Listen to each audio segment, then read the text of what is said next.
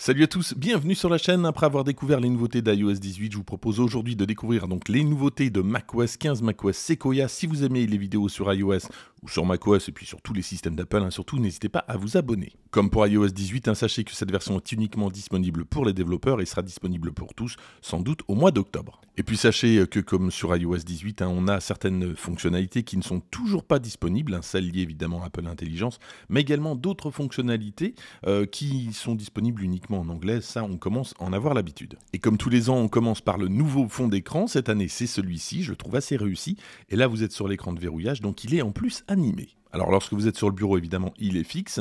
Euh, donc voici à quoi il ressemble et il est disponible en mode sombre et en mode clair. Et en plus, cette année, regardez, on a ce fond d'écran-ci. Alors je vais décaler ça, voilà. Regardez, le fond d'écran euh, vintage. Moi j'aime beaucoup, il est disponible en plusieurs couleurs. On va pouvoir le, le customiser ici. Donc voilà, donc là, il est en vert avec cette animation-là. Alors après, évidemment, ça reste fixe. On va pouvoir modifier les couleurs. Donc voilà tout ce qu'on a ici. Je vais, prendre celui-ci. Voilà cette couleur-là. C'est sympa. Moi, je trouve que c'est pas mal. C'est assez réussi. N'hésitez pas à me dire ce que vous en pensez. Donc voilà pour les fonds d'écran. Hein. C'est traditionnel, mais c'est assez joli. on va quand même le tester sur l'écran de verrouillage. Voilà. Eh, c'est pas mal, hein Ça donne bien. Allons on continue les nouveautés avec euh, FaceTime. Et regardez, donc les arrière-plans sont disponibles maintenant. Donc là, je me suis mis un arrière-plan. Ça se passe juste ici. Je vais pouvoir choisir alors différents arrière-plans. Il y en a qui sont déjà prédéfinis. Il y en a euh, qu'on peut ajouter, évidemment. Donc ici, j'ai trois catégories. Voilà, avec des dégradés. Donc il y a différentes euh, couleurs de dégradés. On a des fonds unis. Bon, bref, là, c'est si vous voulez quelque chose d'assez sobre. On a un onglet avec des paysages. Alors, il n'y en a qu'un pour le moment. Donc, c'est celui-ci. Voilà. Alors là, j'utilise avec FaceTime, hein, mais ça fonctionne avec d'autres services. Et puis, euh, surtout, je trouve que c'est quand même bien fait. Euh, je suis dans une pièce pas très lumineuse. Et bon, le découpage est relativement correct. Je vous passe rapidement, mais on peut évidemment ajouter des photos depuis l'application photo, mais également depuis n'importe quel autre support. Donc, vous téléchargez une photo, vous l'ajoutez.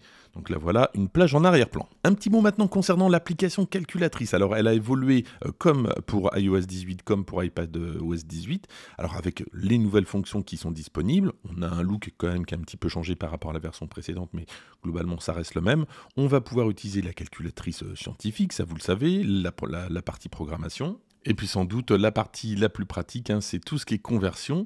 Donc on va jeter un coup d'œil euh, là-dessus. Donc on va activer la conversion et on va retrouver les mêmes catégories à convertir, donc que ça soit superficie, angle, devise, etc.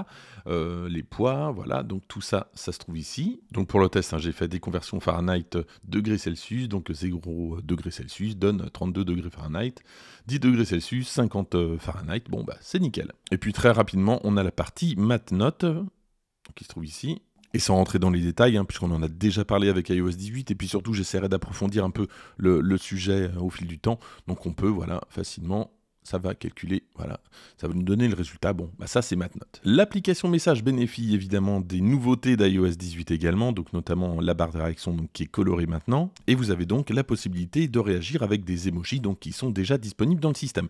Alors sachez que si vous envoyez des emojis euh, comme euh, voilà, parmi cette liste là euh, à une personne qui n'a pas encore le système bah, qu'il faut, hein, forcément, bah, il va rien recevoir, ça ne fonctionne pas. On va pouvoir également programmer euh, donc les envois comme sous iOS 18 et puis iPadOS 18. Donc voilà, ça se passe comme ceci. On va dans le plus, programmer, et on n'a plus qu'à sélectionner l'heure de l'envoi et c'est parti. Et puis à noter hein, qu'il y a deux problèmes d'accessibilité liés à message. Alors le premier, ça concerne le zoom. Lorsque vous êtes en zoom et que vous essayez de réagir avec un, emoji, parfois le zoom euh, se, déconnecte, donc vous revenez à une pleine page. Et puis l'autre truc, c'est que l'énoncé de, la souris, enfin le, survol en fait de la souris pour énoncer le texte ne fonctionne pas pour le moment avec cette première bêta. Et puis pour terminer sur message, je parle de l'effet de texte que vous connaissez maintenant avec iOS 18 et iPadOS 18. Regardez, donc là je sélectionne un mot, je fais un clic droit, donc je vais, alors j'en ai déjà sélectionné deux, hein, c'est pour, euh, pour le test, et je vais en prendre donc un troisième, voilà, donc euh, je fais un clic droit, je vais dans Effet, Et donc voilà à quoi ressemble votre message. Alors c'est assez joli. mais bon, faut avoir du temps à perdre hein, quand même. Mais je trouve que c'est assez joli et c'est quand même plus pratique à faire depuis le Mac que depuis iOS. Voilà ce que vous pouvez faire avec euh, macOS 15 Sequoia. Dans l'application Note, il y a une nouvelle, euh, nouvelle fonctionnalité qui s'appelle surligner qui n'existait pas. Je pense, j'avais jamais fait gaffe en fait finalement. C'est pas quelque chose qui me manquait plus que ça. Euh, donc vous allez pouvoir surligner justement des, des, mots, les mettre, de, voilà, changer. donc vous sélectionnez ici et après, vous n'avez plus qu'à sélectionner la couleur. Vous allez donc pouvoir surligner. Donc je vais le refaire. Je vais là. Donc là, c'est ici. Et après, donc, bah, donc c'est, surligné. Ou alors, je retourne modifier la couleur. Donc j'ai ces choix-là. Hop, voilà, bon. Voilà ce qui se passe dans Note. Un petit mot maintenant sur l'application Échec qui a eu, alors je crois, hein, je me demande si c'est pas la première fois d'ailleurs qu'elle a une refonte comme ça, un look un peu plus moderne. Je suis pas sûr que l'application avait été déjà modifiée. Bref, donc voilà à quoi elle ressemble. Et puis j'avais jamais fait gaffe, mais en tout cas, si vous utilisez la, fonction dont je vous ai parlé tout à l'heure d'accessibilité lorsque vous passez votre souris sur un texte, donc ça le lit, eh bien ça fonctionne également avec les échecs. Donc ça va vous dire euh, pion blanc sur D1, etc. Bon bref, donc c'est assez pratique. Un petit mot sur les effets de fenêtre, alors qui a été modifié, c'est vrai qu'Apple cherche tout le temps à modifier, à améliorer en tout cas euh, son, ses fenêtrages. Alors si je suis, voilà, juste ici je vais dans fenêtre, j'ai donc des nouvelles organisations, par exemple je peux prendre celle-ci organisée par 4, donc ça va placer automatiquement les fenêtres euh, là, bah, dans, chaque coin, après vous pouvez très bien voir euh, des dispositions différentes, par exemple deux enfin une à gauche, une à droite, ou alors en haut, en bas, et vous allez donc, lorsque vous allez bouger des, une fenêtre, la remettre automatiquement au bon endroit. Dans le réglage, on a différentes fonctionnalités, la possibilité, alors ou non, d'activer cette fonction, euh, d'utiliser la touche Alt. Euh, c'est vrai que c'est plus pratique lorsqu'on on va le voir juste après, lorsque vous déplacez une fenêtre en appuyant sur Alt et de la remettre directement, c'est un petit peu plus pratique que de l'emmener juste au bord. Enfin bon, je trouve pas ça génial. Euh, et puis l'autre fonctionnalité, c'est de modifier justement les interlignes, de les supprimer ou non entre les fenêtres. Alors Apple hein, donc essaie toujours de trouver des, des, nouvelles fonctionnalités depuis Mission Control. On a eu Stage Manager. J'ai l'impression que ça prend pas des masses finalement. Euh, moi, moi, en tout cas, j'ai vraiment du mal avec tout ça. Euh, celle-ci semble peut-être un petit peu plus simple, mais je suis pas sûr que je vais vraiment l'utiliser. Euh, regardez, donc là, je mets, voilà. Donc vous voyez, il y a une, un, cadre gris, un cadre gris qui s'est mis automatiquement. Euh, donc je ça repositionne automatiquement la fenêtre. Donc si j'appuie sur Alt ou Option, c'est pareil, euh, et que je bouge la fenêtre, regardez, donc j'ai ce cadre gris, et évidemment, il faut que je prenne la, fenêtre par le haut, et donc ça va la positionner automatiquement. Bon, bah voilà, n'hésitez pas à me dire ce que vous pensez de cette nouveauté. Il y a quelques modifications dans les réglages, notamment iCloud, hein, comme pour iOS. Donc voilà la nouvelle interface d'iCloud. Je ne vais pas rentrer dans les détails. Dans l'application photo, on retrouve les nouveautés d'iOS 18 et iPadOS 18 euh, qui se trouvent déjà dans photo, notamment la vision jour. Donc voici la vision jour qui s'appelle DAIS. Alors il y a encore des problèmes de traduction, c'est souvent le cas avec les premières bêtas. Euh, donc on a exactement la même vision jour. Et puis on a d'autres euh, catégories, notamment voyage, qui sont assez pratiques, je trouve, en tout cas pour faire un tri. Donc c'est plutôt bien fait. Dans les réglages bureau et doc, on a cette nouvelle option qui se trouve juste ici. Lorsque vous allez taper deux fois sur le, sur le titre d'une fenêtre, vous allez pouvoir remplir automatiquement bah, cette fenêtre. Alors ça c'est pour le coup c'est peut-être pas mal, voilà ce que ça donne. Donc si je clique deux fois, ça remplit automatiquement. Je vais essayer avec euh, voilà avec texte texte edit. J'ai failli dire simple texte, le vieux.